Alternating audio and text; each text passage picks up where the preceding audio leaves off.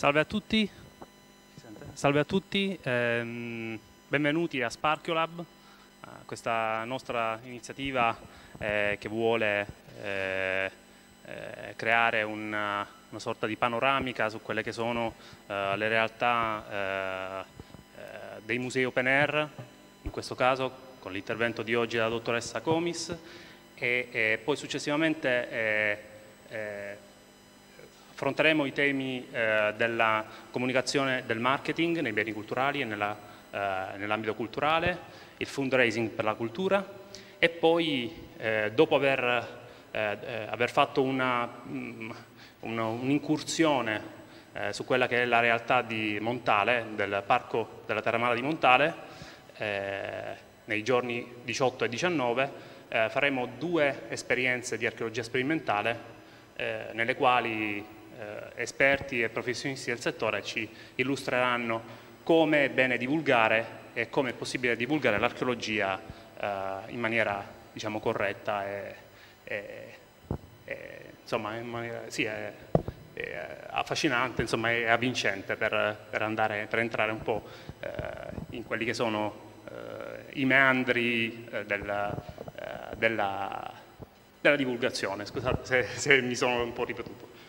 E, ehm, non tolgo nessun, nessun, nessun tempo al, all'intervento della dottoressa Comis che ci illustra appunto la realtà dei musei archeologici all'aperto in Europa e anche in Italia e quindi passo subito la parola a lei che ci parlerà Grazie. di questo, di questo Grazie argomento. mille, io vi ringrazio molto di essere qui stasera e ringrazio soprattutto chi mi ha dato l'opportunità di essere qui oggi. In realtà io oggi porto la voce di EXARC, a un network internazionale dei musei archeologici all'aperto e dell'archeologia sperimentale.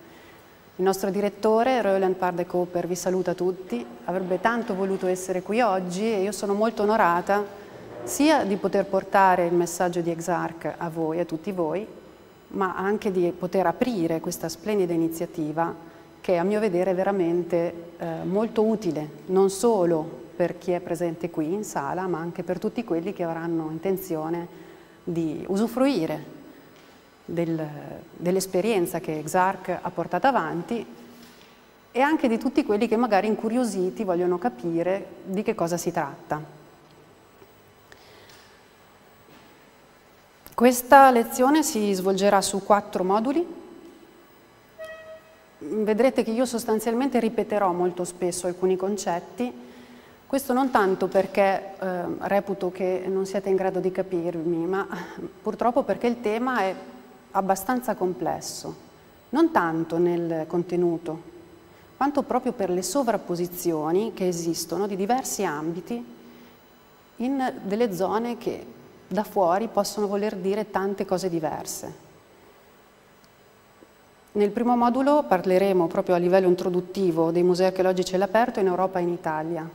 Si tratta di una presentazione che è stata già portata avanti presso Domagnano, a San Marino, in un'iniziativa che portava insieme gli architetti e gli archeologi per capire e analizzare come si poteva fare una divulgazione diversa, una tutela diversa dei siti archeologici. Prima di iniziare però vi vorrei far vedere un video che è stato già pubblicato tramite i social, che è un video promozionale che è stato prodotto da Exarch nell'ambito di un progetto europeo e che ha proprio il compito di dire, farvi entrare nel merito di questa nuova realtà museale.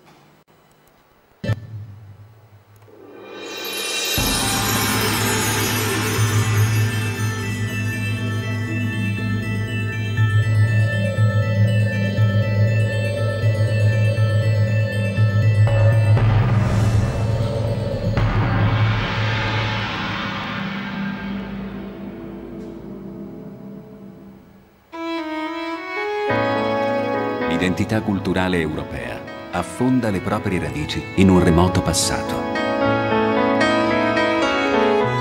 I reperti che affiorano negli scavi archeologici fanno emergere frammenti della vita di antiche genti che hanno popolato l'Europa fin dagli albori della preistoria.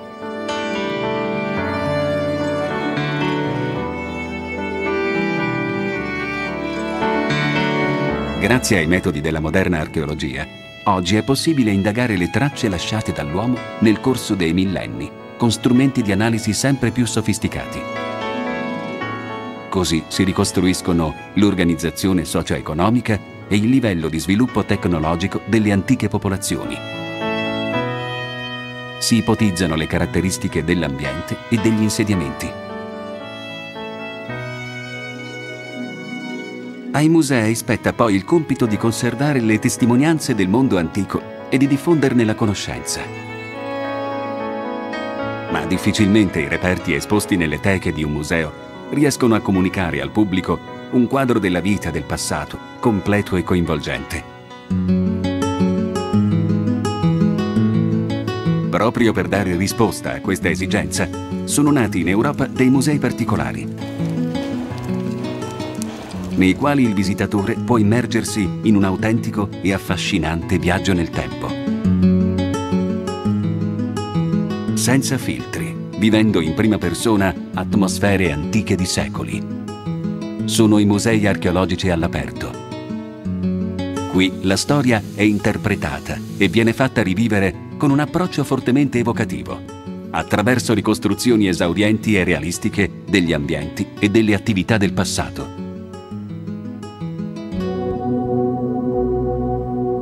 I musei archeologici all'aperto sono forti di una tradizione quasi centenaria, che ha avuto la sua origine in Germania, nel mondo scandinavo e anglosassone. Costituiscono un punto di contatto privilegiato tra la ricerca archeologica e la divulgazione. Le enormi potenzialità culturali, scientifiche e didattiche di questo tipo di musei ricevono oggi un impulso nuovo.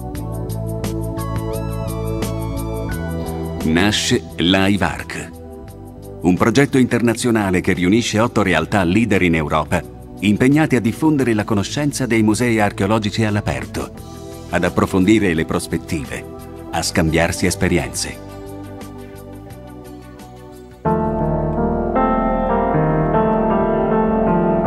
L'interpretazione dei dati archeologici è uno degli aspetti cruciali dell'attività dei musei archeologici all'aperto. Per ricostruire i manufatti antichi non basta infatti conoscerne l'aspetto. È indispensabile indagarne le tecniche costruttive e l'uso che ne veniva fatto.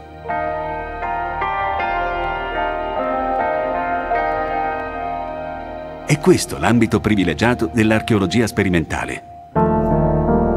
Per gli otto partner del progetto LiveArc, questo è un vero e proprio metodo di indagine scientifica. Partendo dai dati e dai reperti archeologici, si ricostruiscono pazientemente e dettagliatamente gli antichi processi tecnologici e produttivi. Si aprono così nuovi scenari di conoscenza e riemergono dall'oblio interi scorci di vita delle antiche civiltà che hanno abitato l'Europa.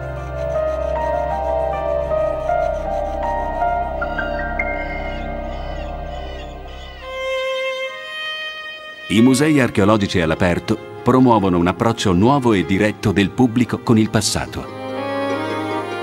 A volte lo fanno con vere e proprie ricostruzioni dal vivo di scene di vita quotidiana o di momenti salienti della nostra antica storia.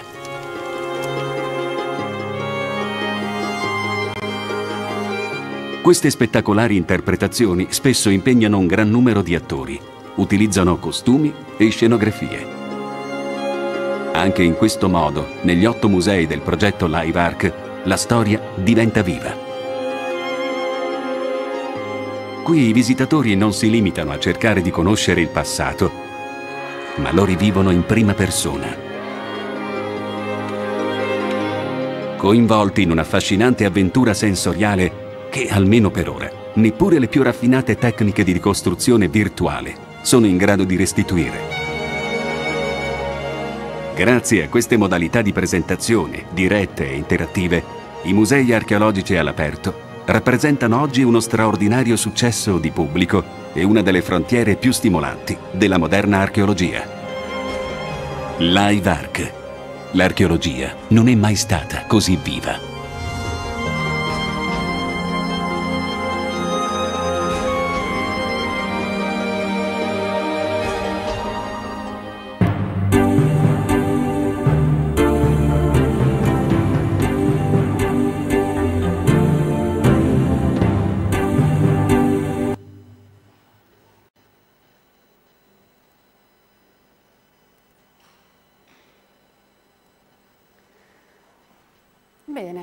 Allora abbiamo visto questa, dire, carrellata promozionale per farvi entrare un attimo nel, nella dimensione dei musei archeologici all'aperto, così come vengono percepiti da Exarch. Adesso cercheremo di andare più, in modo un pochino più razionale dentro la cosa e analizzare quelli che sono gli elementi che determinano che cos'è effettivamente un museo archeologico all'aperto.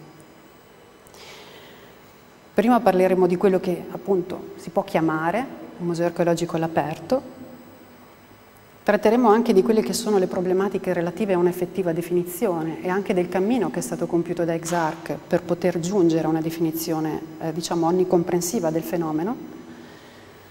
Un brevissimo cenno di storia che poi vedrete riprenderemo nel terzo modulo, alcuni esempi, veramente pochi, perché come vedrete sono tantissimi, non si possono riuscire a illustrarli nemmeno in quattro ore di lezione, e poi eh, una conclusione che è relativa diciamo, alla potenzialità che è insita in questa nuova forma di museo. È un nuovo museo. Intanto vorrei eh, mettere l'accento sulla parola museo. È un museo perché è una collezione di qualcosa, vedremo poi che cosa.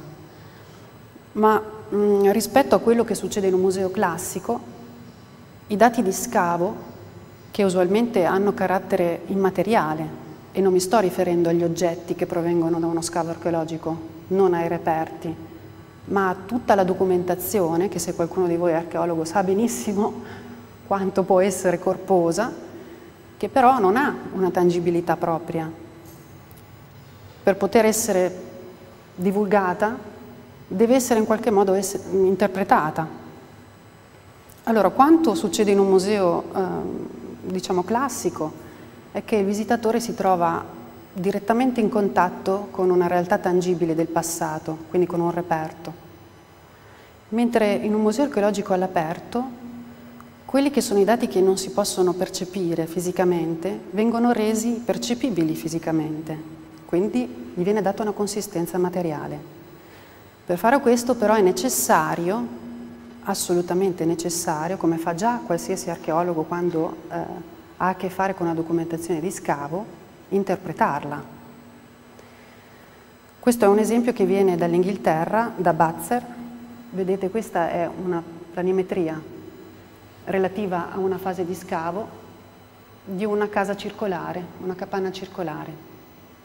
Quella sotto è l'interpretazione effettiva, strutturale delle buche di palo su cui ovviamente si innalzava l'impalcato aereo dell'abitazione e quella che vedete a fianco è un tentativo di ricostruire.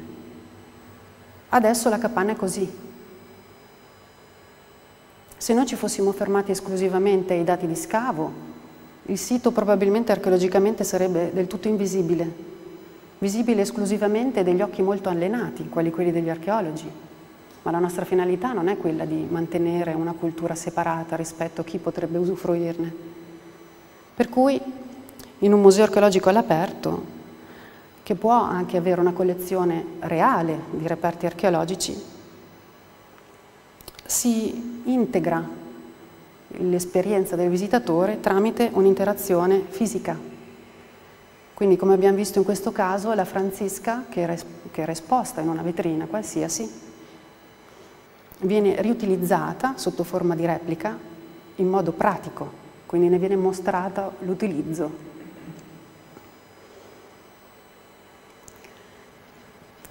Questo è un esempio che viene da Roma. Si tratta di una ricostruzione in realtà libera di una capanna dell'età del ferro è stata rinvenuta nel corso di eh, un cantiere architettonico, insomma si stavano innalzando eh, dei, degli edifici ed è venuta alla luce questa capanna molto importante perché fa parte della cultura latina. E si è deciso di ricrearla, ricostruirla in situ. Come vedete davanti ci sono, sono collocati dei segnacoli diciamo, dove erano effettivamente le buche di palo reper dei reperti originali, quindi del, luogo effettivo dove era stata innalzata originariamente e poco più in là la ricostruzione tridimensionale. Come vedete qui in fase di ricostruzione le case sono molto vicine, cioè gli edifici di oggi sono veramente molto molto vicini a quella che è l'area ricostruita. E diciamo che mh, la cosa acquisisce ancora più significato se la guardiamo dall'alto. Quindi qui vedete la capanna ricostruita, il sito archeologico e la modifica progettuale evidente sulla eh, collocazione e la dislocazione del, degli edifici per rispettare l'area archeologica. Molto spesso, appunto, non è possibile fare una musealizzazione in sito di qualsiasi eh, scavo archeologico per motivi progettuali, per qualsiasi altro genere di motivo, anche esplicitamente di tutela. Quindi non è soltanto una necessità, ma è anche una possibilità.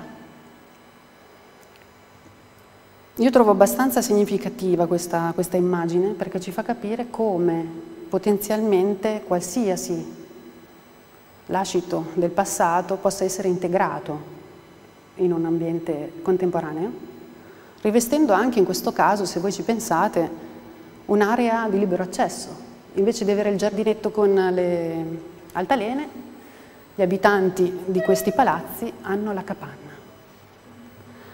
E direi che questo è uno dei punti dove eh, torneremo più spesso, che è quello proprio della, del rispecchiamento della società che vive nel, nel contemporaneo, nel presente, tramite un segnale di un'emergenza del passato. Questa emergenza del passato, mi piace molto questo termine, mi piace molto anche il fatto che questo è un laboratorio dal basso. Teniamo conto che mh, la concezione architettonica di tutela di un bene archeologico usualmente prevede sempre un qualcosa che dall'alto va a coprire qualcosa che esiste, che è di difficilmente, come dire, leggibile. Il resto archeologico, appunto, come dicevo prima, voi lo sapete tutti, non è proprio immediatamente fruibile.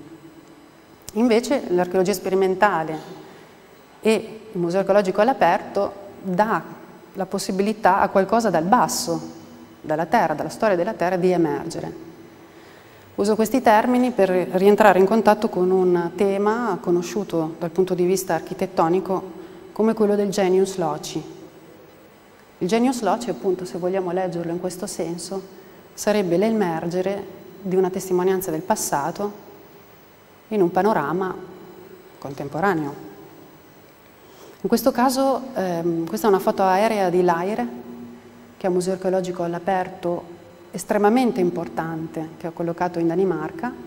Come vedete qua la vocazione è totalmente naturalistica, si trova in un parco, un parco naturale. In altri casi, e qui stiamo guardando a Calafell, in Catalogna, è difficile vedere dov'è il museo archeologico all'aperto. Il museo archeologico all'aperto è qui, tra la ferrovia e la tangenziale. ma riveste un'importanza notevole in questo caso perché è stato ricostruito in situ, cioè sulle mura antiche di questo insediamento iberico è stato innalzato una vera e propria rocca, una rocca dell'età del ferro. Come vedete appunto può essere compresso o può essere ampliato questo emergere del genius loci a seconda della collocazione del reperto archeologico, ma può essere anche dislocato da tutt'altra parte.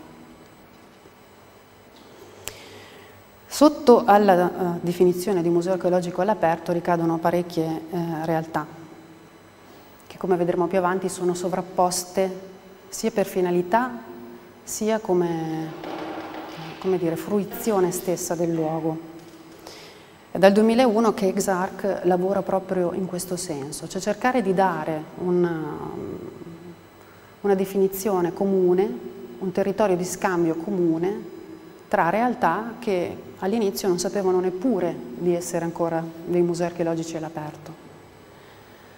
Uno dei modi con cui questo è avvenuto è stato l'IVARC, come avete visto prima il video promozionale che è stato peraltro realizzato dal partner eh, italiano, quindi dal Parco Archeologico del Montale, e poi con l'ultimo progetto europeo che è ancora in corso, OpenArc. Nel 2009 poi è stata fatta proprio all'interno sempre di LiveArc la guida ai musei archeologici all'aperto in Europa, che forse qualcuno di voi ha già visto, come proprio prodotto del network internazionale all'interno del progetto europeo. Poi fortunatamente eh, attraverso le esperienze e il continuo confronto tra realtà diverse di tutta Europa è stato possibile fare uno studio di livello accademico molto alto che è diciamo, l'ultima frontiera della ricerca in questo senso della tesi di dottorato di Roland Parde Cooper sugli musei archeologici all'aperto. Attualmente è l'unica pubblicazione che si propone di analizzare il fenomeno in modo eh, coerente, mentre prima di questo, di questo volume le informazioni erano ancora non strutturate, quindi si trovavano articoli eh, in qualche pubblicazione, non si capisce bene se si riferivano a un museo archeologico piuttosto che a un'altra realtà. Diciamo che lui ha cercato di fare nel corso di sei anni un lavoro di eh, state of the art proprio del, del fenomeno, utilizzando l'esperienza di Exarch. Public Archaeology, lo vedremo anche dopo, è invece ancora più ampio come strumento proprio per arrivare a definire che cos'è questo fenomeno e porta insieme tutte quelle che sono le ricostruzioni anche libere, quindi non musei archeologici all'aperto, che sono sparse sostanzialmente in tutto il mondo. La definizione che è stata data nel corso degli anni e che è stata recepita da ICOM come effettivamente eh, una definizione di nuova tipologia di museo è questa. Un museo archeologico all'aperto è un'istituzione no profit permanente. Mi soffermo sui singoli punti. Ah, vi pregherei, scusate, mi sono scordata di chiedere prima, se avete domande, per cortesia segnatevele, le usiamo nell'ultimo modulo per discutere. Un'istituzione no profit permanente. No profit, sappiamo tutti cosa vuol dire. Certo che una istituzione no profit non è detto che eh, non crei profitto in assoluto, magari non per se stessa. Permanente vuol dire che eh, devono essere fisse queste strutture, non temporanee. Ricostruzioni architettoniche tridimensionali all'aperto. Il problema è che debbano essere basate su fonti archeologiche. Quindi se a noi viene in mente di ricreare così una capanna che ci sembrerebbe di richiamare all'antico, possiamo farlo, ma non per questo uh, potremmo parlare di un museo archeologico all'aperto. Ci deve essere un legame fortissimo con quello che è la fonte archeologica. Sia, come abbiamo visto nel caso di Calafel, in situ, sia invece dislocato in un altro, in un altro ambiente, come vedremo dopo. Come dicevamo prima, il museo contiene delle collezioni, ma le collezioni che contiene un museo archeologico all'aperto eh, sono di carattere immateriale o intangibile. Questa è una cosa molto importante da sottolineare, anche quando si ha a che vedere con eh, le varie istituzioni.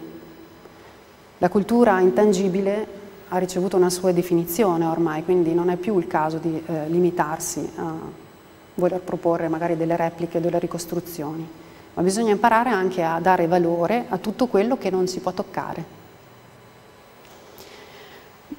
Fornisce un'interpretazione, non è la verità. Fornisce un'interpretazione vuol dire che il dato, di qualsiasi genere esso sia, storico o archeologico, è un dato interpretato, non è più una, un legame diretto con una fonte eh, primaria come può essere una vetrina, con un oggetto senza definizione, senza data. È un oggetto che invece è collocato in un contesto e quindi è il frutto di un'interpretazione.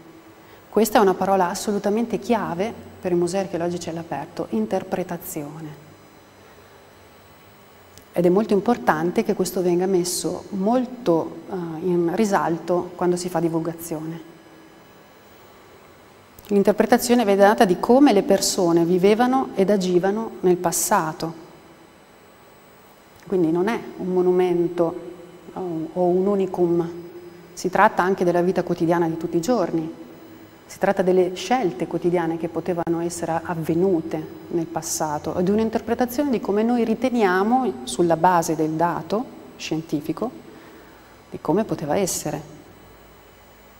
L'ultima frase, questo viene realizzato tramite valide procedure scientifiche, è una frase che poi vedremo nel secondo modulo molto più dettagliatamente perché le procedure scientifiche delle volte vengono un po' fraintese in questo ambito. E le finalità sono quelle dell'educazione, di studio e divertimento dei suoi visitatori. Quindi come vedete non è un museo eh, che fa cultura, appunto, Vede, venite a vedere il museo archeologico all'aperto che c'è da cultura, no? Se volete potete imparare qualcosa, potete anche acquisire diciamo, delle nuove competenze esperienziali, potete divertirvi e basta. L'offerta è talmente variegata che eh, è molto difficile poter dare esclusivamente una priorità, anzi in questo momento storico pare che sia proprio sbagliato darne soltanto una. Questa, io vi chiedo scusa, la traduzione l'ho fatta io, infatti non è molto bella, però se voi andate comunque a verificare la definizione di Exarch nel sito, questi sono i temi principali ed ogni singolo punto è esplicitato in modo un pochino più approfondito. Il problema più grosso dei musei archeologici all'aperto è quello dell'archeologia sperimentale. Qui eh, mi preme semplicemente dire che il fine dell'archeologia sperimentale è la ricerca, non è la ricostruzione. Se fosse solo la ricostruzione sarebbe eh, un'esperienza, non sarebbe un esperimento e poi soprattutto se si chiama archeologia sperimentale, oltre a trarre le origini dal dato archeologico, dovrebbe voler dire qualcosa per l'archeologia, quindi dovrebbe tornare all'archeologia. Sfortunatamente eh, il termine archeologia sperimentale oggi si vede applicato in modo abbastanza libero ad, ad attività di ordine diverso e di diversa appartenenza sia nell'educazione, anche a livello di laboratorio didattico, a livello di così, esperienze tecnologiche, sia di turismo. Quindi archeologia sperimentale è un po' tutto e niente oggi. Questo abuso del termine ha creato, nel corso degli anni, una frattura molto forte con il mondo accademico, che in qualche modo ha ritardato, diciamo così, eh, l'integrazione dell'archeologia sperimentale come metodo di ricerca effettivo dal punto di vista puramente accademico. Ma lo vedremo dopo. Questo problema grosso dell'archeologia sperimentale in realtà gli studiosi eh, l'hanno capito già parecchio tempo fa. Reynolds, che è stato diciamo, il creatore di Butzer, eh, ha creato un termine addirittura per potersi differenziare invece di parlare di ricostruzione, che vorrebbe dire la certezza assoluta, per esempio in questo caso della capanna, di come veniva effettuata la copertura, invece non è così.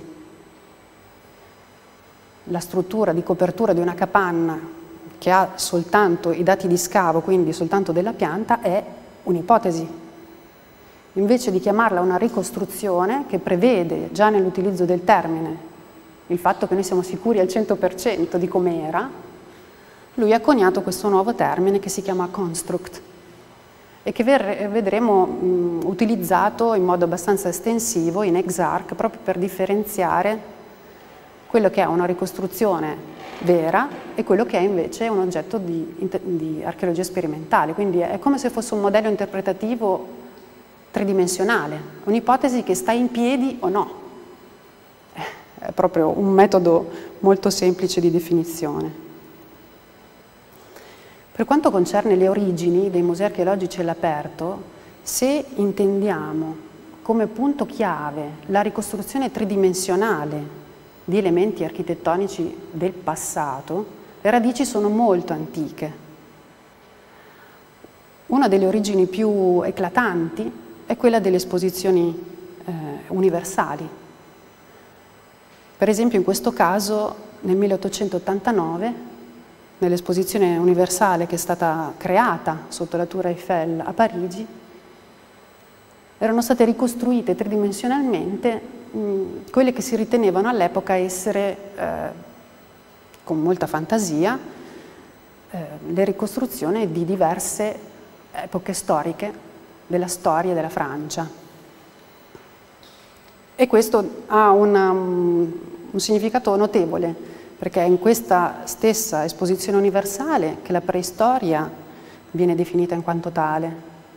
Quindi era strettamente connessa all'archeologia questa operazione. Non solo, venivano addirittura rappresentate scene di vita, utilizzando esempi etnografici. Un utilizzo così, diciamo, acritico dello strumento etnografico e così fantasioso del passato livello di ricreazione tridimensionale fa parte di quello che Roland ha definito il momento del romanticismo. C'è stato appunto questo momento in cui non solo nell'ambito eh, diciamo temporaneo delle esposizioni universali, ma anche in ambito eh, permanente sono state ricreate delle specie di scenografie ispirate al passato che avevano come scopo quello di rappresentare romanticamente l'idea, per esempio, di un'identità, di un'identità nazionale, come è avvenuto in Svezia, in Danimarca e poi vedremo cosa è successo in Germania. Uno dei primi musei archeologici all'aperto è Unteruldingen, nel lago di Costanza, che viene creato nel 1922. Vengono ricostruite due palafitte eh, sulla base dei dati di scavo che riguardavano il Neolitico e ad oggi è ancora esistente questo museo archeologico all'aperto, fa parte del network di EXARC e ha avuto una storia molto interessante. Un altro che è anch'esso molto conosciuto e molto strutturato è Biskupin in Polonia. Entrambi questi siti eh, qui vengono portati a livello esemplificativo perché sono stati strumentalizzati in modo molto pesante durante l'epoca precedente la seconda guerra mondiale e contemporaneamente nel caso di Biskupin. Quello che mi preme di farvi passare adesso è il concetto della strumentalizzazione del passato, che chi conosce la storia dell'archeologia eh, diciamo, ha acquisito ormai e che però bisogna riportare alla luce ogni qualvolta si parla di una ricostruzione tangibile che può essere utilizzata in modo spettacolare. In realtà questo elemento non è da rigettare tout court, ma bisogna tenerne conto soprattutto a livello di eh, rapporti con eh, le forze in potere. È inevitabile che un reperto archeologico di grande impatto venga immediatamente strumentalizzato da chiunque abbia bisogno di vedersi rappresentato o giustificato nella propria acquisizione di potere. Subito, diciamo, dopo la seconda guerra mondiale il fenomeno è degradato moltissimo, fino a quando negli anni 60 con la New Archaeology mh, mm, si è avuto un boom delle creazioni di questi nuovi eh, musei archeologici all'aperto, ma intesi esclusivamente proprio come ricerca. Quindi non erano dei musei per il pubblico, ma erano dei laboratori a cielo aperto di sperimentazione archeologica. Come abbiamo visto prima, Batzer, che ancora oggi è aperto nonostante eh, abbia passato alcune difficoltà, in questo caso eh, a Batzer si sta analizzando oltre alla ricostruzione tridimensionale di edifici pertinenti alla storia eh, dell'Inghilterra, anche tutto quello che è il rapporto tra l'uomo e l'ambiente. E quindi anche in questo caso vedete le foto di alcune specie che sono state reinserite all'interno dell'habitat del passato, come questa pecora che perde il pelo. La lana non veniva, la pecora antica non veniva tosata, veniva raccolta la lana.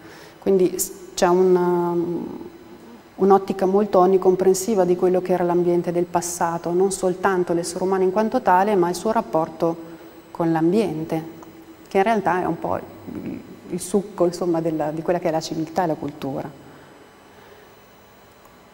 Già alla fine degli anni 50 Ansel Hansen ha creato, con un libro tra l'altro molto divertente, una casa preistorica. Ha scritto il libro dicendo io ho fatto una casa preistorica. Grazie a questa sua esperienza in Danimarca ha preso vita quello che è uno dei musei archeologici all'aperto più validi, io credo, da, da, tutti i punti di vista, per come ha saputo gestire il, le varie tematiche che rientrano dentro un museo archeologico all'aperto.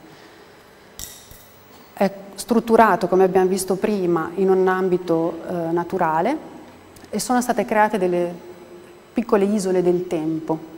In questo caso vediamo all'alba il, il villaggio dell'età del ferro.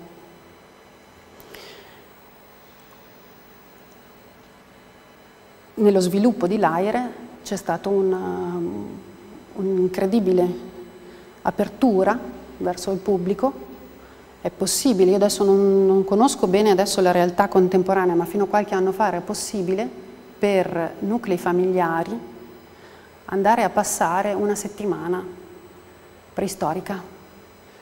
Quindi eh, ci si svestiva dei propri abiti, si veniva rivestiti degli abiti tipici dell'età del ferro, veniva assegnata una capanna e eh, gli operatori del Museo archeologico all'aperto fornivano laddove era necessario i cibi e in qualche caso le competenze che magari servivano a prendere il fuoco piuttosto che impastare la farina, eccetera.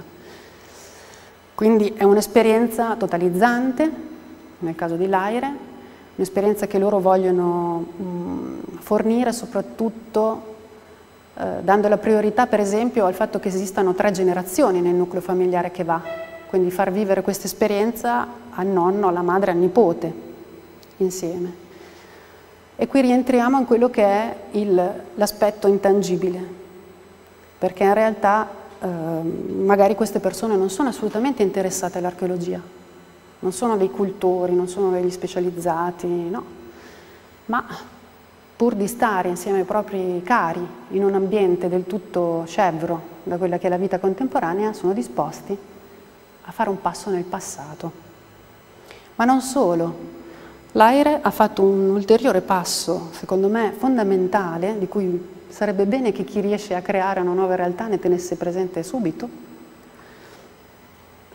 è quello di far partecipare al pubblico delle esperienze che si svolgono nell'ambito della ricerca, anche in questo caso, vedete, c'è un ricercatore che sta effettuando un esperimento di scheggiatura che viene eh, mostrato al pubblico. Pubblico interessato, chiede che cosa stai facendo e lui può spiegare, sto cercando di capire come, come si poteva utilizzare questo tipo di pietra o non so, qualsiasi altra cosa. Non pensate che si tratti di cose eh, non concordate, L'AIRE fino a qualche anno fa aveva proprio un bando di concorso dove chiunque avesse una, uh, un progetto di ricerca tramite sperimentazione che potesse utilizzare tutto il, mm, diciamo, quello che era disponibile all'interno del Museo archeologico all'aperto veniva selezionato, veniva strutturato un protocollo scientifico significativo, non tutto veniva accettato, con la sola richiesta di far partecipe eh, il pubblico. Quindi qua ci sono tutti e tre gli aspetti, sia la ricerca, il turismo e poi il, la, mm, dire, il coinvolgimento fisico direttamente.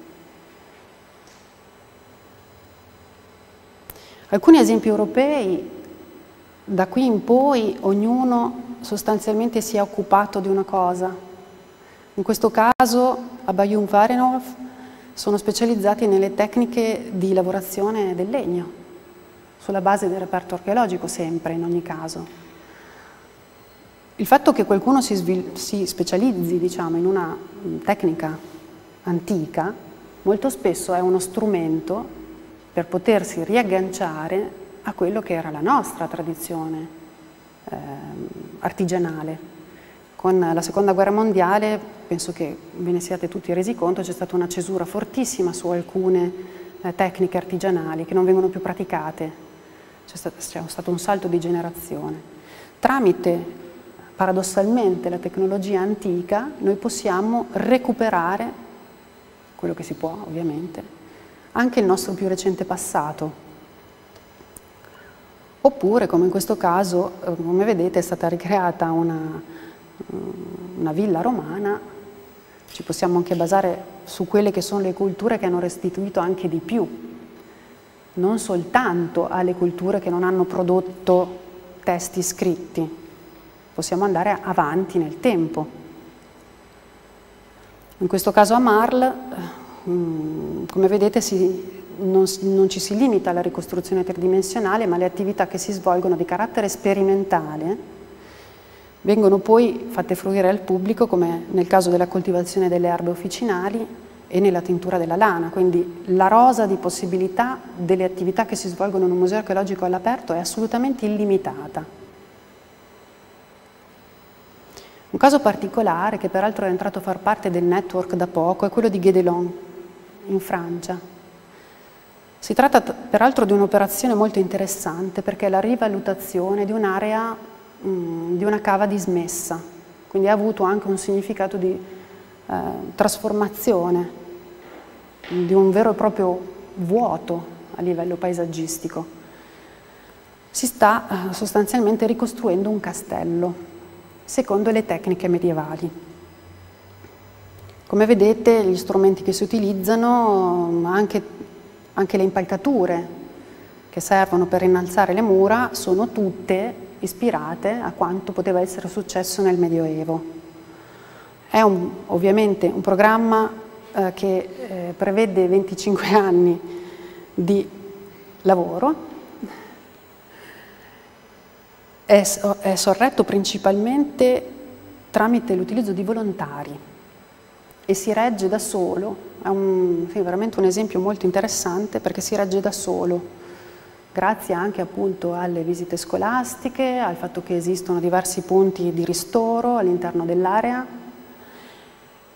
ma la cosa che a me personalmente eh, piace moltissimo è che in base alle sperimentazioni effettuate vengono elaborati dei programmi didattici che consentono ai piccoli o anche ai grandi di partecipare attivamente nella creazione di elementi necessari per la costruzione del castello. In questo caso vediamo la lavorazione di una tegola.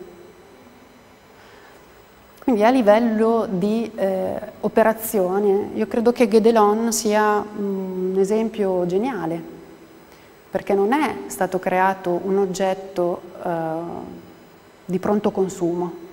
Noi ce lo poniamo sempre questo, questo pro problema, dobbiamo fare una capanna, deve essere pronta domani.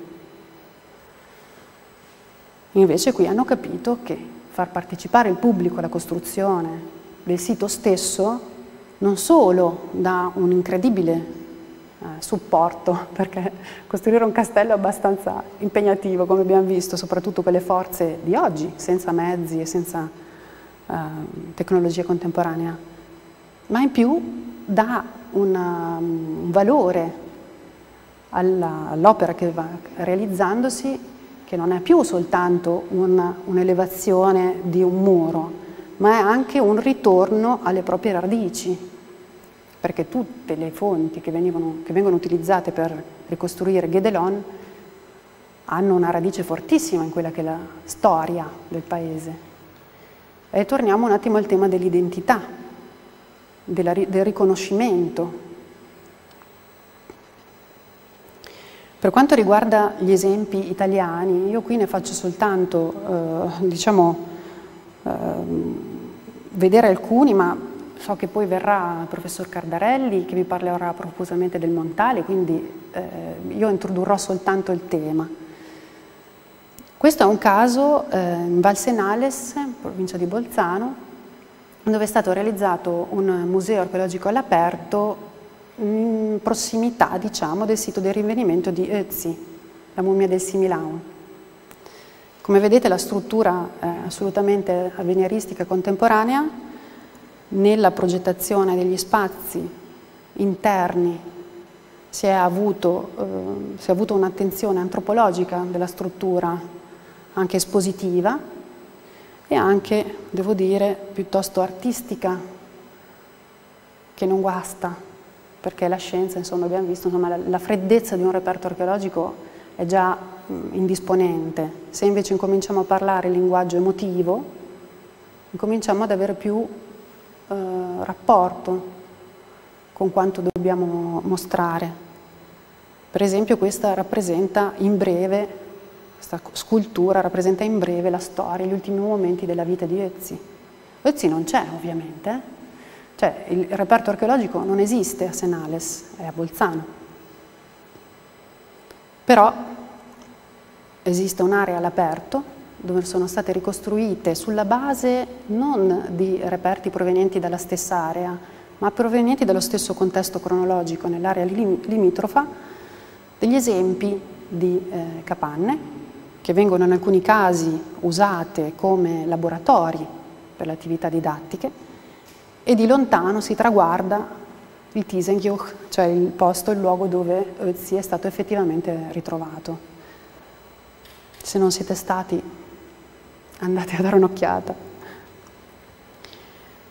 Come vedete, le attività che si svolgono all'interno delle capanne sanno essere estremamente coinvolgenti in questo caso vedete una riproduzione di un flauto che viene utilizzata all'interno di una capanna con il fuoco acceso. Sembrano cose semplici, sono cose che una volta esperite non lasciano eh, spazio alla dimenticanza. Sostanzialmente sono delle esperienze che rimangono nel cuore, archeologi o no. Il Montale invece, che vi illustreranno poi eh, i miei colleghi, è collocato in un'area, come vedete, urbanizzata e occupa uno spazio abbastanza interessante. A me preme di sottolineare qui che si tratta di un sito estremamente eh, preciso dove viene data la possibilità al visitatore di passare dentro fisicamente allo scavo archeologico musealizzato in situ, come vedete qui, e quindi di avere un diretto eh, input su quella che è la ricerca archeologica. E poi quello di entrare fisicamente in un ambito di ricostruzione, nonostante sia dentro un contesto, avete visto, estremamente urbanizzato, eh, con le due capanne che avete visto anche prima nel video, che, fanno, che sono pertinenti a due fasi diverse, ma vengono spiegate benissimo nello scavo. Il Montale è un esempio eh, notevole per la sinergia che è stata creata inizialmente per la fondazione e la realizzazione del Museo archeologico all'aperto, tramite peraltro una partnership europea. Come vedete anche gli interni delle capanne sono state arredate con eh, reperti archeologici eh, scusate, non con reperti archeologici, con repliche di reperti archeologici ispirati o a oggetti effettivamente rinvenuti in situ oppure da contesti sempre cronologicamente e geograficamente compatibili con l'area. Quindi finiamo questo primo modulo dicendo che il Museo archeologico all'aperto è una nuova modalità di interazione con il passato, non è passivo, è una modalità attiva. Un'altra parola chiave, oltre all'interpretazione, è dinamica. Non si tratta di una cosa statica, si tratta di un divenire, di un'interrogazione e di uno scambio costante tra la ricerca, l'educazione e il turismo non si può prescindere da uh, nessuno di questi tre poli, assolutamente mai, perché si rischierebbe di togliersi tutta una fetta diciamo, di, di, di fruitori.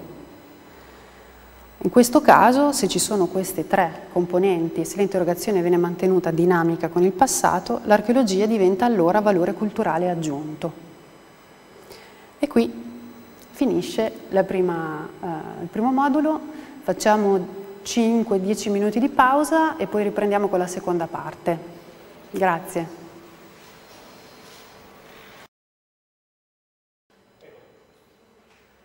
Bene, allora iniziamo con il secondo modulo. Vi siete riposati? Speriamo perché questo è un pochino più, il tema un pochino più ostico, perché forse è quello che ha più che vedere con l'ambito accademico. Mi auguro che non ci siano cose assolutamente incomprensibili. Vi invito, se avete delle domande, a scriverlo, a prenderne nota e ne discuteremo quanto volete nell'ultima ora soprattutto insomma, per quello che compete alla mia conoscenza. Parliamo adesso dell'archeologia sperimentale come strumento di ricerca. Anche in questo caso vi faccio vedere una presentazione che ho presentato un anno fa al quinto convegno dei giovani archeologi a Catania.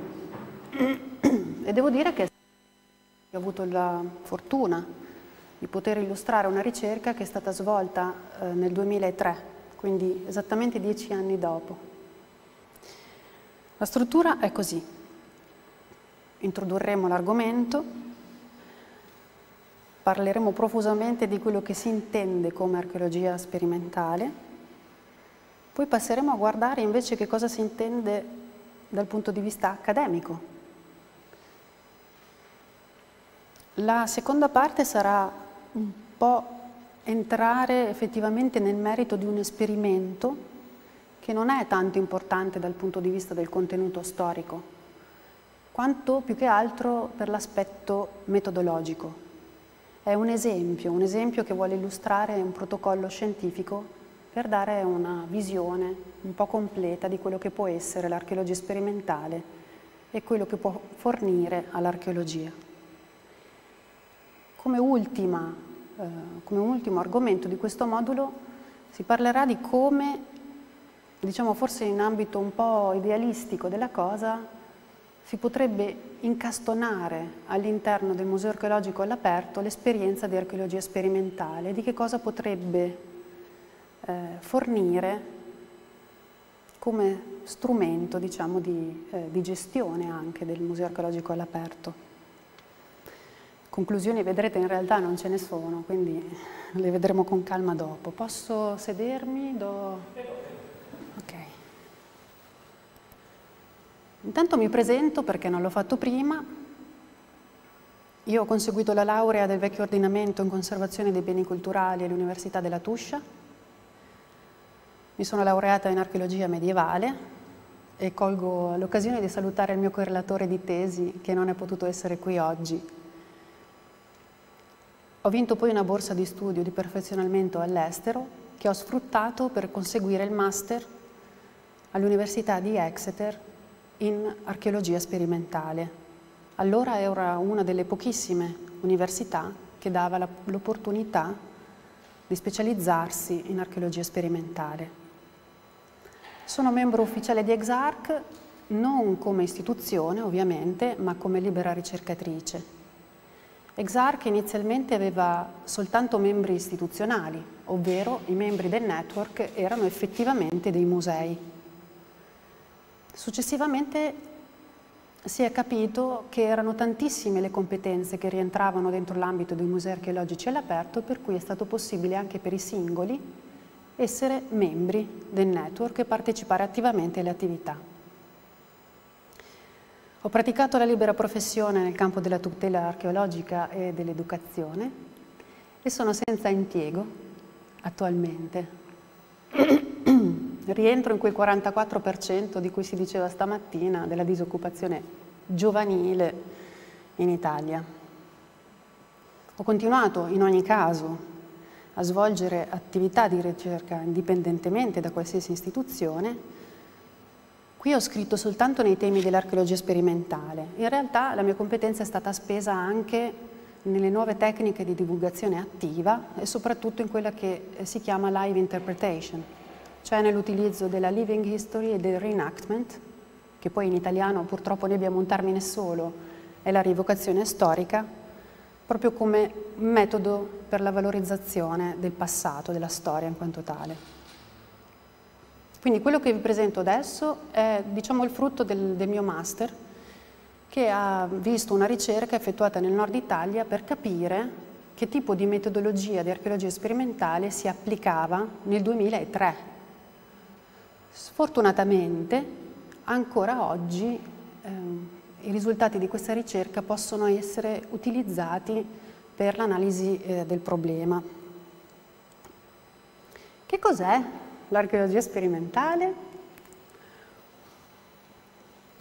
Se ne vedono un po' eh, di tutti i colori, diciamo, eh, sotto questa definizione, sotto questa etichetta. Per esempio in questo caso vediamo la replica di un manufatto effettuata con le tecniche antiche in un laboratorio, però con l'intento di replicare un reperto archeologico e si chiama, molti la chiamano archeologia sperimentale. Delle volte ci capita anche di vedere personaggi in costume che svolgono delle attività ispirate alle tecnologie antiche in un contesto eh, diciamo, scenografico appunto nel passato e anche questa è un'attività che viene etichettata molto volentieri con il termine archeologia sperimentale. Delle volte vediamo anche persone vestite in modi diversi, diciamo, anche con fantasia, svolgere delle attività eh, che eh, ripercorrono una tecnologia antica, come in questo caso una fusione. Anche questa viene chiamata molto volentieri archeologia sperimentale.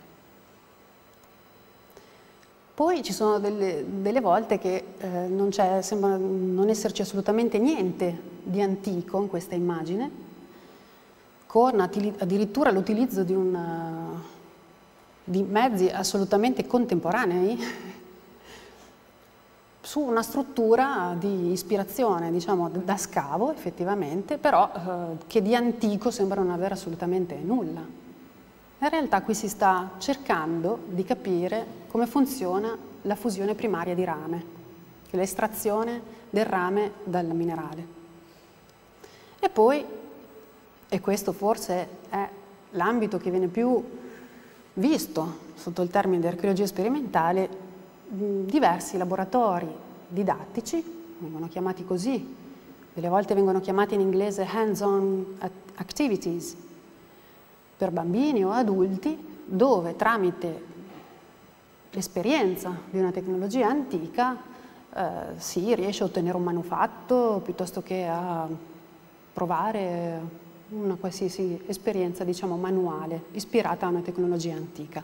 E anche questa invariabilmente viene denominata archeologia sperimentale. E poi ci sono degli eventi spettacolari, eventi spettacolari, combattimenti, danze, di ogni genere, che eh, come vedete magari utilizzando delle repliche anche attente al reperto archeologico, però hanno una finalità eh, così di intrattenimento. Ma anche in questo caso invariabilmente vengono denominate archeologia sperimentale. Come vedete quest tutte queste cose, che sono diverse tra di loro, però traggono l'origine sempre dal dato archeologico. L'archeologia è sempre la base di tutte le attività che abbiamo appena visto. Quindi Facciamo, torniamo indietro, guardiamo bene cosa sono queste cose. Abbiamo visto repliche di manufatti archeologici, reenactment, living history, rievocazione storica, come volete definirla, attività esperienziali o dimostrazioni di tecnologia antica, simulazione di processi produttivi, didattica e performances o eventi spettacolari. sono diverse, sono parecchio diverse queste esperienze. Sembrano fare capo a degli ambiti, diciamo, di diversa origine e di diversa anche finalità. Sostanzialmente l'etichetta di archeologia sperimentale è stata eh, così, utilizzata indiscriminatamente nell'ambito dell'educazione e parlo anche ovviamente di tutto quello che è eh, il curriculum scolastico. Quindi non soltanto l'attività didattica eh, e esperienziale che va un pochino di più verso il turismo, e anche in quella che è la ricerca. Come dicevamo prima, si è creata una frattura molto forte tra questi ambiti. La ricerca è stata messa in secondo piano. Non, non, ha, non è riuscita ad avere visibilità la ricerca a livello dell'etichetta archeologia sperimentale. Ma come abbiamo visto, in realtà tutti i dati da cui traggono origine queste attività hanno comunque l'origine nel dato archeologico.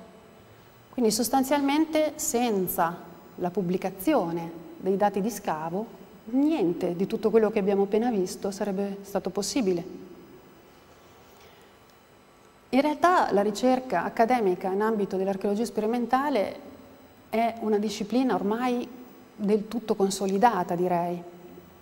Io qui ho inserito soltanto alcune delle, dei contributi che ci sono stati recentemente riguardo alla definizione della disciplina e dalla definizione teoretica della disciplina dell'archeologia sperimentale.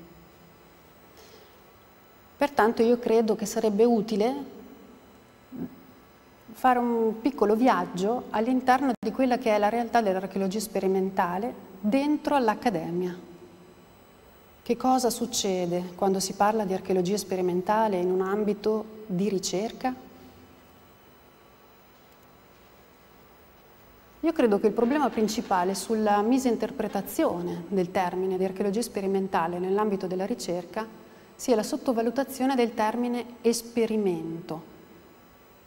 È vero che in Italia anche il termine archeologia non è molto chiaro, sfortunatamente anche in alcuni ambiti accademici. E credo anche mh, sia evidente che anche dal punto di vista dei mass media quello che passa non sia più rappresentativo di quella che effettivamente è oggi l'archeologia. Ma bisognerebbe fare una tesi di dottorato a parte su questa cosa, quindi parliamo dell'esperimento. Quello che è il protocollo sperimentale, così come viene definito, non è un'improvvisazione, ma deriva la sua natura dalla filosofia della scienza.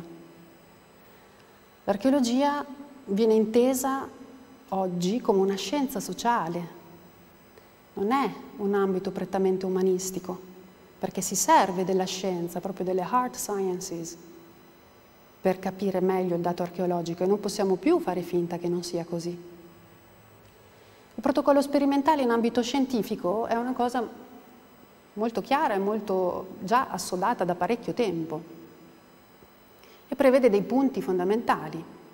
La formulazione di un'ipotesi,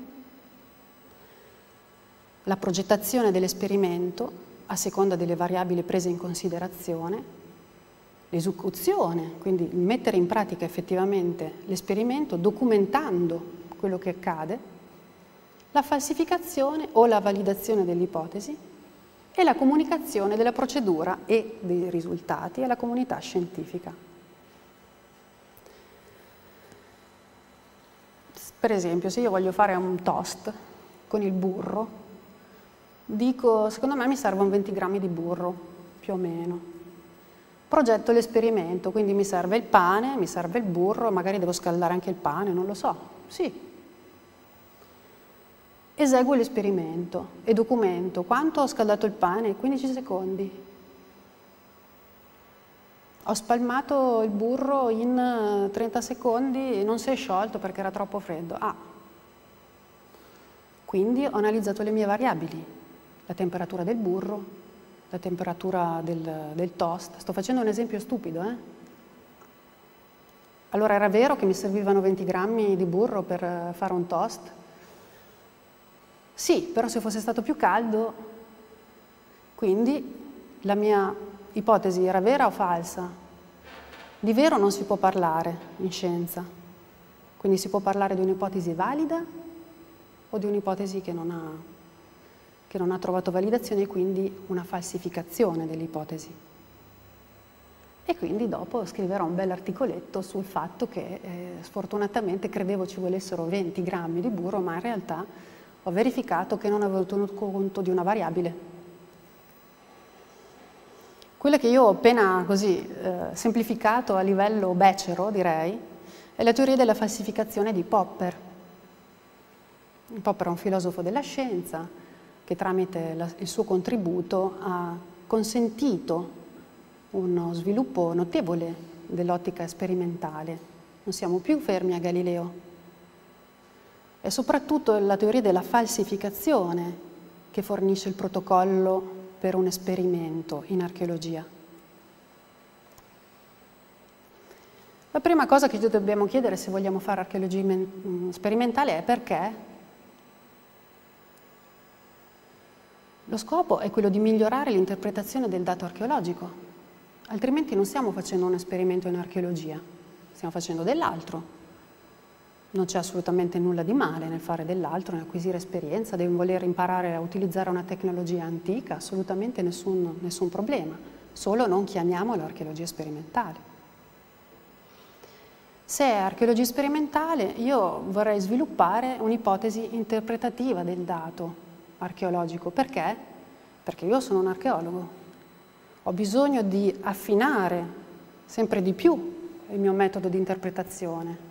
Non perché sono convinta che arriverà la verità storica, perché la verità storica non esiste, ma perché tramite il mio strumento metodologico mi avvicinerò sempre di più. E questa è una certezza. Quindi la domanda perché è alla base di qualsiasi genere di esperimento, non si può improvvisare. Il come è altrettanto importante però. Per testare le mie ipotesi interpretative io faccio un esperimento. E come avviene questo in archeologia? Tramite la replicazione o il tentativo di replicare dei fenomeni del passato per capirli meglio, allora questo, questo fatto di voler replicare il fenomeno è forse questo l'elemento che ha destato più confusione nella, nella definizione della disciplina. Vedremo perché. Gli studiosi hanno definito due generi di esperimento. Ci sono quelli primari, oppure, come dice Outram, actualistic, che sono i più imitativi possibile. Ovvero, a seconda della cosa che io voglio replicare, del processo che io voglio indagare, cercherò di essere più fedele possibile a quelle che erano le condizioni originali o, che io interpreto come condizioni originali. E mi servono proprio perché io ho la necessità di capire quali sono le variabili coinvolte nel mio esperimento, quindi per esempio prima abbiamo visto il pane, il burro, la temperatura del, del, del burro eh, e le altre cose con, comprese dentro questo, questo processo. Mi servono questi esperimenti più imitativi possibili perché io riesco ad isolare le variabili, a capire quali sono gli elementi che interagendo tra di loro mi portano al risultato e soprattutto non soltanto eh, di distinguerle tra di loro, ma di, ca di capire qual è il nesso causale tra le due variabili, non casuale, causale, causa-effetto. Di solito sono quelli che si riescono a controllare meno questi esperimenti, perché eh, comunque appunto non avendo ancora consapevolezza di quelli che sono le variabili da indagare, può succedere qualsiasi cosa. Servono perché in base ai risultati e l'analisi dei primi esperimenti si possono progettare quelli di seconda generazione, che sono dei veri e propri esperimenti. Quelli di seconda generazione non si limitano all'analisi di quelle che sono le variabili, ma vanno proprio a indagare le interazioni causali tra le variabili Pertanto devono seguire un protocollo molto più rigido e devono essere assolutamente ripetibili. Se io faccio un esperimento che non riesco più a riprodurre, ahimè non ho fatto un esperimento, avrò fatto un'esperienza.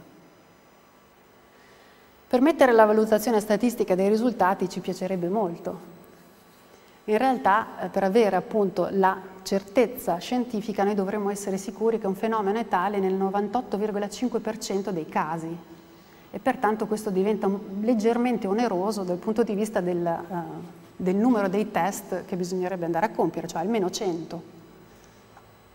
In ogni caso gli esperimenti di seconda generazione sono quelli che effettivamente validano o falsificano un'ipotesi interpretativa.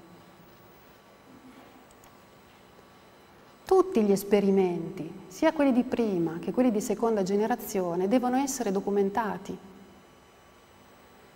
Perché se non riusciamo a documentare gli esperimenti, prima non si tratta di un esperimento. Secondo, non possiamo comunicare il nostro lavoro scientifico fatto.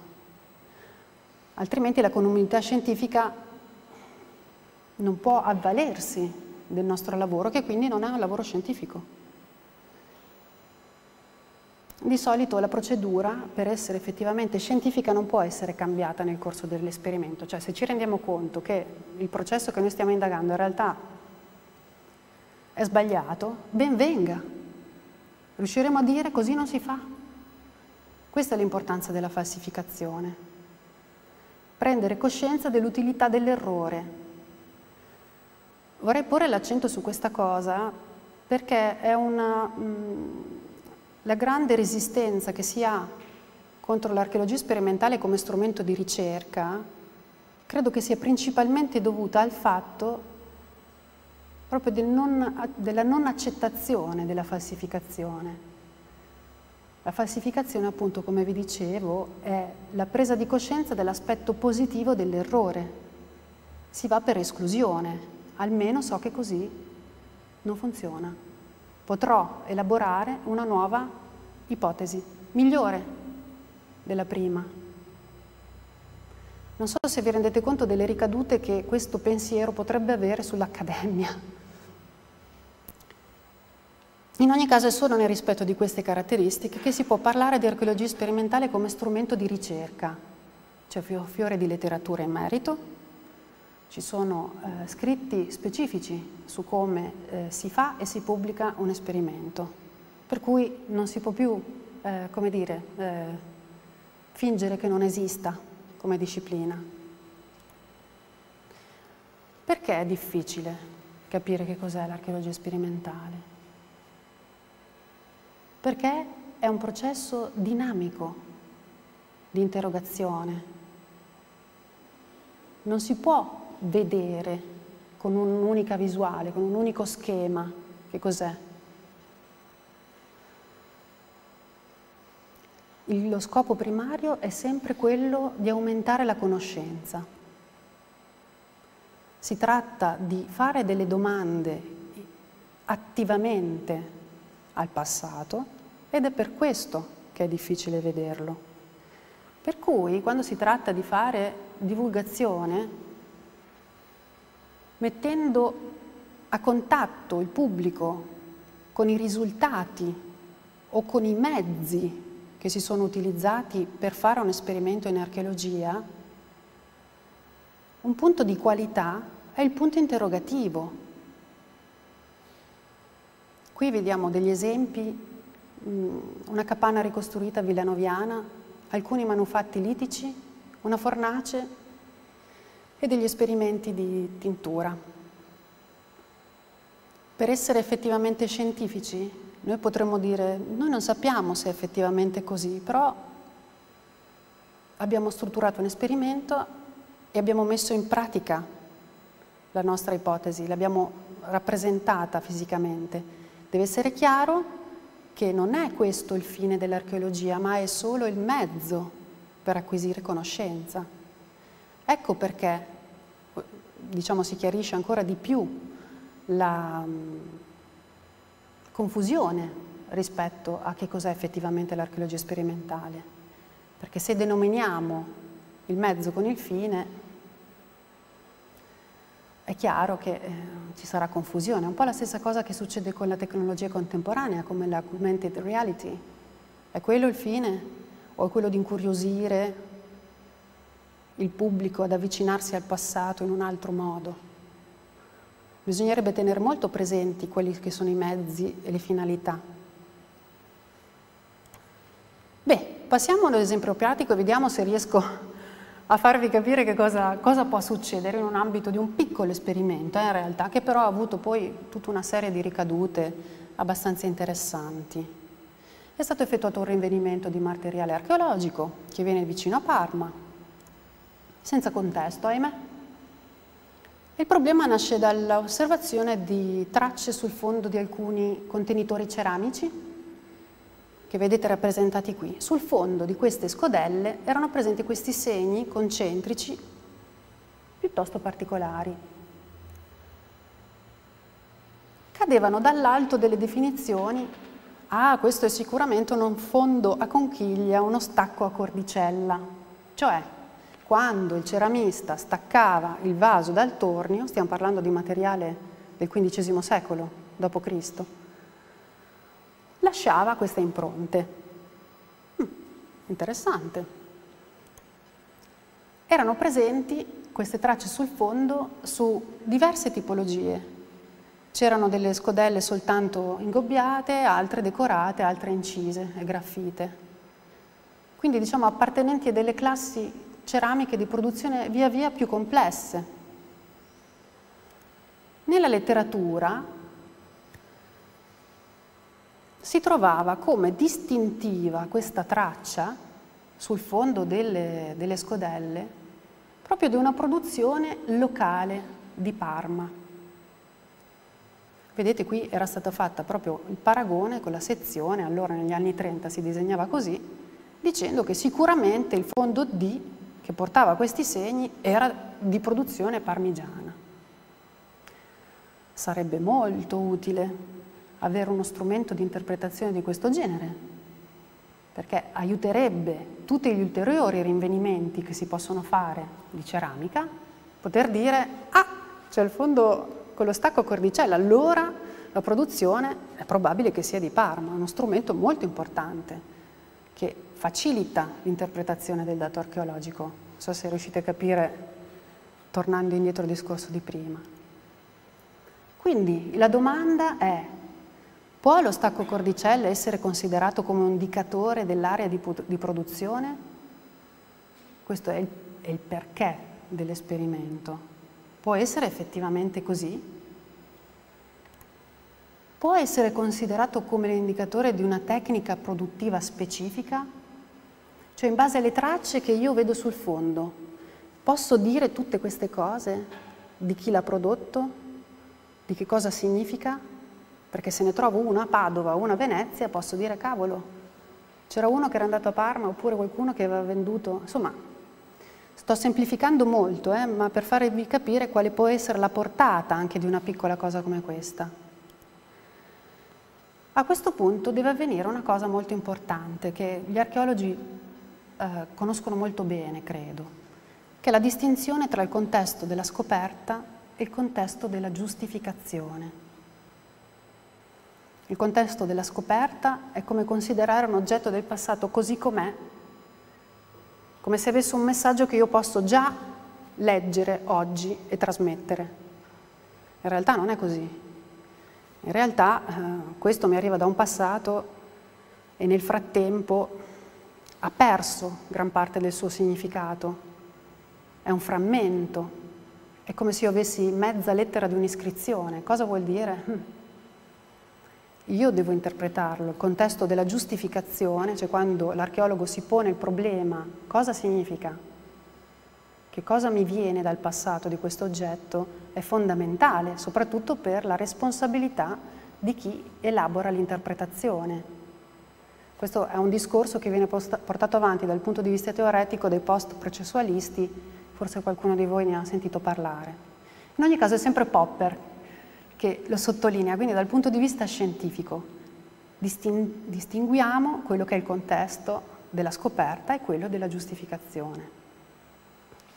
Testiamo le nostre ipotesi interpretative. È una forma di correttezza e anche di onestà. L'esperimento. Un'altra cosa molto simpatica che mi è stata tramandata a, ad Exeter è quella dell'esplicitazione di quello che viene definito l'assunto primario. Che cos'è l'assunto primario? È la base, è la base sulla quale eh, ci si muove per fare un esperimento. Sembrerebbe forse una cosa banale, ma in realtà se io rendo esplicito il mio assunto primario, do la possibilità alla comunità scientifica, per esempio, di dire io non sono d'accordo. Potrebbe esserci qualche studioso che dice no, secondo me non è possibile, nonostante la complessità del materiale, replicare il processo di manufattura. Va bene, allora, non so come dire, è dare la possibilità a chi viene dopo di noi di valutare le basi su cui ci siamo mossi. Per esempio, in alcuni casi, per esempio di archeologia cognitiva, quando si fanno gli esperimenti eh, riguardo alla, alla lavorazione della pietra, quindi alle diverse fasi di scheggiatura, e si pongono in mano a dei, delle persone che assolutamente non hanno idea di che cosa sia la manufattura litica, si presuppone, quindi l'assunto primario è che il nostro cervello sia ancora molto simile rispetto ai sapiens sapiens che allora avevano creato quegli oggetti. Non so se eh, ho chiarito questo, questo aspetto, non vi vedo molto convinti. L'altra cosa molto importante è che la finalità, il mio assunto primario, in questo caso non era voglio imparare come si facevano i vasi nel XV secolo. No, io non ho tempo di riacquisire su di me un'esperienza che eh, peraltro pochissimi possono fare e che imparano nel corso di una vita intera. Non è questo il mio intento, il mio intento è quello di capire se effettivamente le tracce sul fondo possono dire qualcosa a livello scientifico. Per cui mi avvalgo di qualcuno che la tecnica la conosce già e non sto facendo uno screzio a nessuno, perché il mio fine è molto chiaro. Questo per dire che è necessario anche in questi ambiti scendere dei compromessi, se dovessimo soltanto imparare eh, un solo ambito di applicazione di artigianato di Etsy, ci vorrebbero 3, 4, 5 generazioni. Cioè, bisogna essere anche abbastanza realistici quando ci si pone in contatto con il passato in questo modo. Comunque, sono passata a fare una cosa che Hodder chiama eh, l'approccio storico diretto, ovvero sono andata in provincia di Parma a cercare se c'era qualcuno che facendo dei vasi in ceramica lasciava queste tracce sul fondo e l'ho trovato. Ce n'era uno che non era di Parma però, era inglese. Comunque vedete in questa foto si vede chiaramente che staccando il vaso dal tornio lasciava queste impronte diceva che gli piacevano molto. Bene. E questo è uno, è uno, dei metodi che si possono utilizzare. Mai far finta che eh, nessuno sappia più fare le cose che si facevano nel passato. Grazie a Dio esiste la lunga durata e quindi in alcuni casi la funzionalità di alcuni oggetti è ancora la stessa da millenni. Quindi è avvenuta la prima fase, visto come poteva funzionare, si è svolto il primo esperimento, quello attualistico. Proviamo a rifare esattamente quello che capitava nel passato, che mi ha consentito quindi di analizzare e di scartare le variabili che a me non interessavano. Quindi qui vedete un vasetto, adesso non si vede tanto bene, che recava proprio le tracce di stacco dal tornio. In base a questi esperimenti ho capito quali erano le variabili che si incrociavano per ottenere le tracce sul fondo. E in questo caso erano la modalità gestuale, lo strumento utilizzato per lo stacco dal tornio e lo stato del tornio, cioè se era fermo o in movimento. Come vedete, a seconda della modalità di stacco, poteva essere pannelliera diagonale, incrociata, e le diverse caratteristiche dello spago o del um, filo metallico utilizzato per staccare il vaso. Dopodiché è incominciata la seconda fase, ovvero gli esperimenti veri e propri, in, interlacciando eh, tutte le variabili e analizzando i risultati. Come vedete sono stati tutti documentati, fotografati questi sono gli esperimenti a tornio fermo e rappresentati graficamente. Questa è una parte molto importante nell'archeologia sperimentale, si chiama collezione di riferimento. Anche se il risultato di un esperimento non, non ha niente a che vedere con il mio reperto originale, a me serve documentarlo, perché se ho una collezione di riferimento posso eventualmente confrontarlo anche con un oggetto che ha le stesse tracce ma che magari viene da un altro contesto o ha un altro significato. Collezione di riferimento è utile per cercare di evitare di reinventare tutte le volte l'acqua calda. Comunque vedete che non avevano niente a che vedere, non funzionava. Per gli, esper gli esperimenti a torni in movimento, come mm, vi ho detto prima, mi sono avvalsa dell'aiuto di Katy Vamos, che è una ceramista che abita a Exeter, documentando ogni singolo eh, esperimento.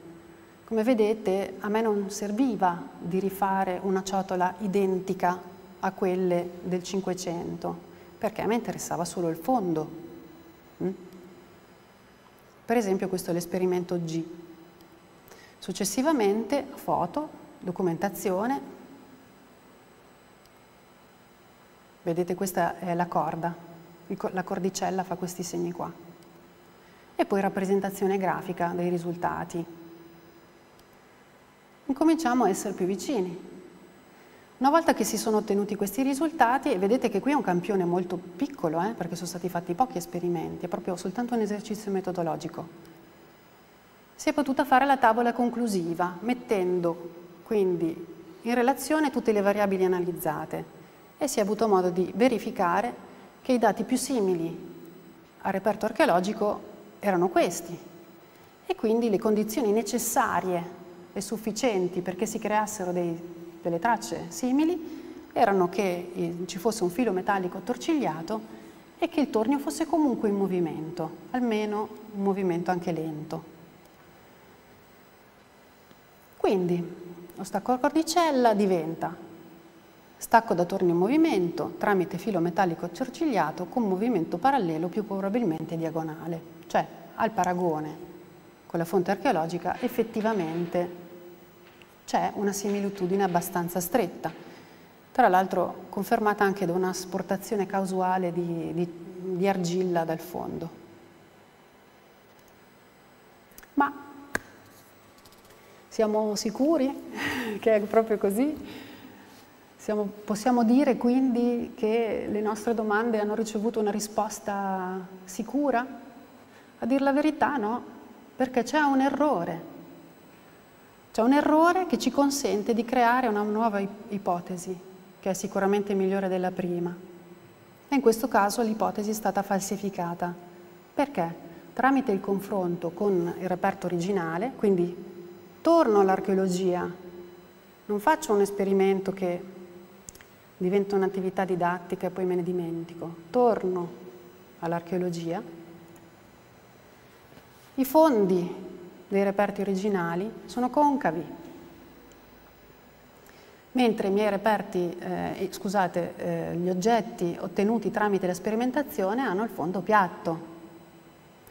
Allora c'è qualcosa che non torna. Per cui c'è una nuova ipotesi. Cioè, ho capito cosa utilizzavano e come probabilmente avveniva, ma non è propriamente quello che facevano nel passato, non torna proprio tutto. La nuova, domanda è quindi, ma esisteva forse una tecnica che permetteva di effettuare uno stacco a cordicella in concomitanza alla concavità del fondo? Ah. È una nuova domanda alla quale si potrebbe rispondere, io purtroppo non sono riuscita a portare avanti la ricerca, bisognerebbe capire quanto ricorre a livello statistico, oh, scusate, la caratteristica e poi progettare ed effettuare una nuova serie di esperimenti. Questa diciamo, era la prima fase, spero di non avervi troppo tediato con, con, con queste cose tecniche, mi piacerebbe di farvi capire che eh, l'esperimento ha un grande giovamento per l'archeologia. Usualmente nei musei archeologici all'aperto avviene che i dati che vengono dall'archeologia vengono utilizzati per un esperimento e vengono così regalati al pubblico, ma non tornano mai all'archeologia. E questo ha contribuito moltissimo, come lo ripeto, eh, perché va ripetuta questa cosa, alla frattura con il mondo accademico. Cioè fin tanto che un esperimento non torna all'archeologia, l'archeologo non capisce il valore dell'archeologia sperimentale. Sarebbe invece utilissimo per un museo archeologico all'aperto, soprattutto se è in fase di fondazione, prevedere all'interno proprio del, dell'ente, dell'entità, un ambito di applicazione dell'archeologia sperimentale come strumento di ricerca, con la restituzione effettiva dei risultati, eh, anche se sono tutti falsificate le ipotesi, eh, attenzione quindi sarebbe utile mh, avere un laboratorio di studio e ricerca, un laboratorio sì di analisi del materiale archeologico, se si può, benissimo, ma soprattutto di ricerca pratica ed effettiva. Non lo dico soltanto dal punto di vista scientifico, lo dico anche perché effettivamente è l'archeologia sperimentale che dà la possibilità di creare sempre nuove esperienze per il pubblico, per il visitatore. Se non possiamo ambire a quello che capita all'aire, cioè che al visitatore viene posta la possibilità di partecipare attivamente all'interrogazione del dato archeologico, e questo per me sarebbe il massimo, perché gli consentirebbe di sviluppare una sua ipotesi interpretativa, quindi mh, avrebbe un altro significato, potremmo però almeno noi in Italia far ritornare l'archeologia sperimentale all'archeologia e tramite questo rimpinguare diciamo, l'offerta per il pubblico. In questo modo, se l'archeologia sperimentale viene praticata nel Museo archeologico all'aperto, si, si crea un circolo virtuoso tra le tre sfere che abbiamo visto prima, che, mm, ripeto, a mio vedere mm, anche nell'esperienza europea devono essere tenute presenti tutte e tre contemporaneamente. Questo ovviamente è un'ottica uh, ideale, però credo che per chi ha la fortuna di poter impiantare ex novo un museo archeologico all'aperto potrebbe essere un'idea da valutare. Quindi bisognerebbe fare così, acquisire un metodo definire una terminologia condivisa, perché come abbiamo visto prima mm, c'è un po' di dubbio, sia in quello che si offre, sia in quello che si prende. La divulgazione al pubblico è fondamentale, andrebbe curata attentamente, andrebbero usati termini propri, che non significa escludere eh, attività prettamente didattiche o eh, esperienziali o spettacoli, o tutte le altre attività che abbiamo visto, ma chiamarle con il proprio nome, in modo da restituire diciamo, una collocazione, un'autorevolezza a quella che è l'archeologia sperimentale come strumento di ricerca. Soprattutto sarebbe utile per il museo archeologico all'aperto avere mm, come dire, spazio per fare le prime fasi di sperimentazione, gli strumenti di prima, scusate, gli esperimenti attualistici trovano un'applicazione assolutamente ideale nel museo archeologico all'aperto per valutare le variabili. Potrebbero avere anche una ricaduta spettacolare. Non ci sono limiti sotto questo punto di vista. L'ultima cosa di cui voglio parlarvi prima di concludere questa sezione è l'importanza di valutare il contributo dell'archeologia sperimentale nel patrimonio intangibile. Come abbiamo detto prima, l'utilizzo di tecnologie antiche spesso ci mette in relazione anche con quelle che sono le caratteristiche tecnologiche dismesse da poco. Quindi di creare un legame che si è venuto a recidere nel corso del tempo con quelle che sono appunto un approccio storico diretto, capire le risorse del territorio come sono state utilizzate anche recentemente. E quindi il patrimonio intangibile in questo senso sarebbe una, una forma di, art di artigianato, per esempio. Ma il patrimonio intangibile è ancora una cosa, uh, ancora di più, io credo. Siccome gli esseri umani posseggono tratti quali la coscienza, la volontà e la capacità di riflettere, non possono essere trattati come rocce o conigli. Questo lo dice Gibbon e ehm, io credo che sia importante perché una cosa che abbiamo capito tramite l'esperienza di archeologia sperimentale, il contatto con il pubblico, sono proprio questa necessità che viene dal basso di interagire, di, di raccontarsi, di parlare tra di noi, di passarsi l'esperienza dall'uno all'altro. È quello che gli inglesi chiamano storytelling. Dover aiutare l'archeologo sperimentalista ad aprire una fornace ancora calda è un'esperienza che non si può replicare tramite eh, l'augmented reality ed è un'esperienza che non, dire, è irripetibile. O anche sentire i commenti di una bimba che assaggia il garum è una cosa meravigliosa ed è questo il patrimonio effettivamente intangibile. Quando dico valutare, intendo proprio valutare queste esperienze, valutare le ricadute che ci sono. Quindi l'archeologia sperimentale sì, strumento di ricerca importante per l'interpretazione archeologica.